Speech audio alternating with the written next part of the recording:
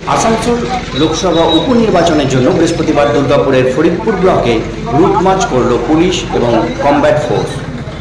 এদিন নূতনডাঙ্গা বাজার থেকে মাদারবনি কলিয়ারি পর্যন্ত আসবে ঘুরে না বেরিয়ে যাবে। রুট মার্চ করে পুলিশ এবং কমব্যাট ফোর্স। এলাকায় যাতে শান্তির শৃঙ্খলা বজায় থাকে এবং নির্বাচনের দিন যাতে মানুষ নিশ্চিন্তে ভোট দিতে যেতে পারে সে কারণে এই রুট মার্চ বলে পুলিশ সূত্রে জানা গেছে।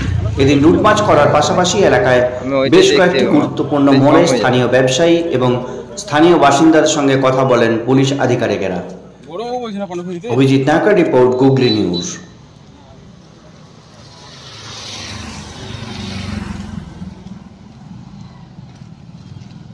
যাও যাও যাও